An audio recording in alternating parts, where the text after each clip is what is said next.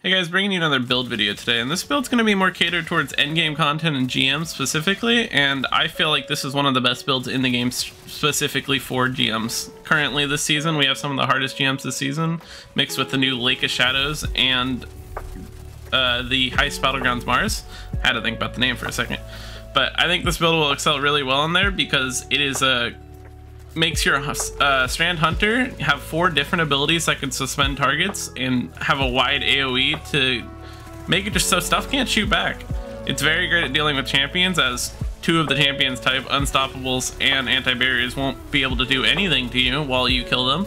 And it's just really, really good at crowd control. So if we get right in the build, First up, we have the Silk Strike Super. It's the only super we can choose from, but it would be probably the super of choice if we had anything else because this thing deals incredible damage, AoE and single target damage.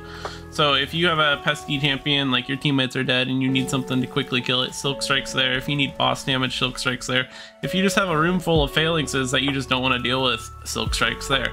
It is a fantastic super to run around with and a great tool to have in your back pocket if you are in a sticky situation.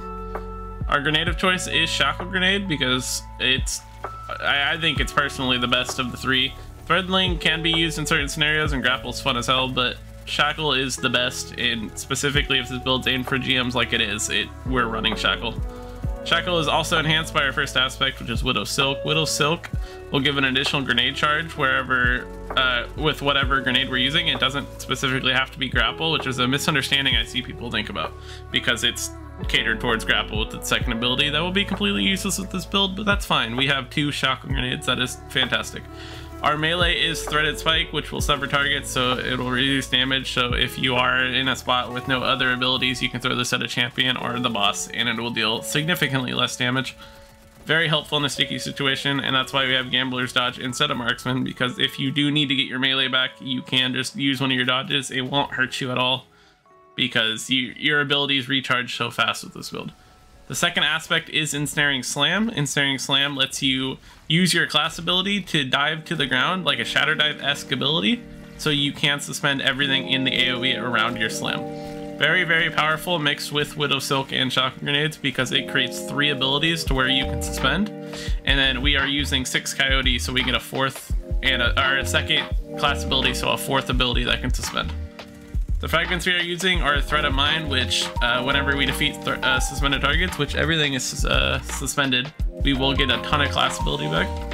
Our second fragment is uh, Thread of Generation, so whenever we deal damage to those suspended targets, we also get Grenade Energy. So you can see like the synergy start to flow because whenever we suspend targets, which is all we will be doing with our abilities, we will get those abilities back that we use to suspend. Very, very useful uh, fragments. So let's get into the third one, which just extends our uh, durations for our, our uh, debuffs for this build. Suspend and Sever are abilities that we have up constantly and are very helpful, so getting an increased duration to them is very, very needed and nice. The only issue with this fragment is if you do stun an unstoppable with your suspend, he will become unstunned in the suspend. He will still be suspended, so he can't do anything, but you will do less damage. So watch out for that towards the end of your uh, suspend. You might need to throw another grenade or a dive just to stun him again. The last fragment we have is picking up our uh, Thread of Warding, which picking up an orb gives you Warden, uh, Woven Mail, which is an insane damage resist. I don't know the exact number. I think it's above 80%. So like insane amount of damage resist. And this pairs really nicely with the artifact mods we have.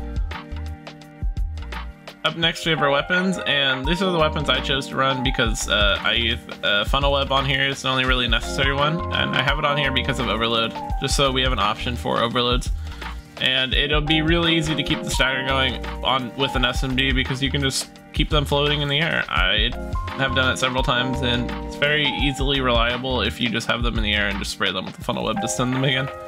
LMG for a quick ad clear for these suspended targets and just some good damage since they got buffed this recent season. So they're very, very helpful. Last, I have conditional. You don't need this. It is on my like uh, character just strictly because I got it this week and I wanted to mess around with it. I think it works really well. It's nice, good uh, DPS outputs, but you can also just use Riptide, get the about get about the same thing, like the same benefits, and you can just use Wave Splitter in the slot if you want. But this is what I'm running. Use Riptide instead of Conditional if you don't have it, and then Wave Splitter instead of Funnel Web. And yeah, those are the weapons. For mods, it's pretty much simple. It's just ability energy like orientated. So what we have is our two siphon mods. These are our main way to get orbs and armor charges with this build because your abilities aren't killing anything so you can't really use firepower heavy handed so these are the two ways and it's very easy still. So stasis on here for conditional or riptide whatever you feel like using and voids for the LMG. so whenever you're spraying through all of your suspend targets you'll generate a bunch of orbs with the void siphon. Reaper's on here just in case you need a roll to get your melee back and it gives it extra benefit to the roll so it's not completely useless those orbs will be turned into grenade energy via innervation by picking them up, and then when you also throw a nade, you can use your armor charges to get grenade energy. So you can stack up to three and get about half your nade back, and then on top of the fragment, it gives you grenade energy on top of damage. You just constantly have a nade up. Fire, or powerful is just on here, so you can give your allies armor charge. This is a very powerful mod and underused, so feel free to use it whenever. Impacts on here for when you do use your melee to sever things, you get grenade energy two resist mods, use whatever you want. This is what I chose because it's just all around neutral. You'll be close to a lot of things. So melee is good, and then con uh, concussive is very, very strong. Void is on here for 10% damage buff because everything's tanky, and then 15% or 15 second damage buff with time dilation. Those are the mods. Lastly, we have our artifact. Artifact is pretty simple. It's just exactly what you would run on a Void build. So we have Overload SMG, which is important because we need something to stun overloads. And like I said, I'm using SMG, so... Uh, discount mods are very important. I have Strand on. You don't need this. You just need Void and Grenade to discount, and then you can have everything on. Shatter Orbs is very strong against Void Shields, which uh, a lot of things have shields and GMs, so Shatter Orbs should be good. Bricks from Beyond is very, very good for keeping your heavy ammo, or your LMG with ammo. This this perk is very, very, very, very strong. So whenever you defeat a champion, you should try to defeat him with your funnel web or your LMG, and then you can generate heavy for you and your teammates. Volatile flow, just so you can get volatile rounds on this build, because otherwise you wouldn't be able to on strand. So we had the void weapons on strictly for volatile and to melt through the suspended targets. Counter Weave is very good for getting your abilities back, because you're using this suspend to stun your unstoppables a lot. If the strength doesn't have unstoppables, this isn't the most useful thing ever, but your teammates should have something for overload and barriers, so it it'll come in play, but it's more useful on unstoppable GMs. And then these two are kind of just throwaway mods.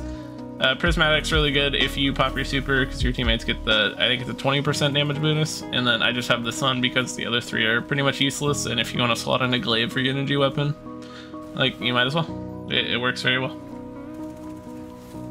Champions are very easy to deal with with this build because Unstoppables are stunned by Suspend, which is all you are doing with this build, and then it's also countered by Conditional or Riptide, whatever you're using. If you freeze a target and shatter it, they will stun, and Conditional also ignites with the second bullet, so that'll also stun Unstoppables.